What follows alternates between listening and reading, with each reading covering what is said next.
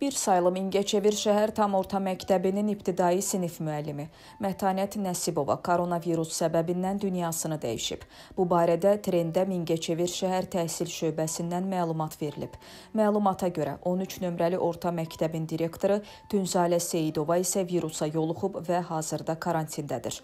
Mingəçevirdə yerləşən Ağdam rayon 74 saylı orta məktəbin ibtidai sinif müəllimi Abışova Raya Məcid qızı da COVID-19 səbəbindən dünyasını dəyişib dəyişib. Bundan başqa Mingəçevir şəhər texniki humanitar liseyi isə koronavirusa yoluxmalar səbəbindən distant formada təhsilə keçib.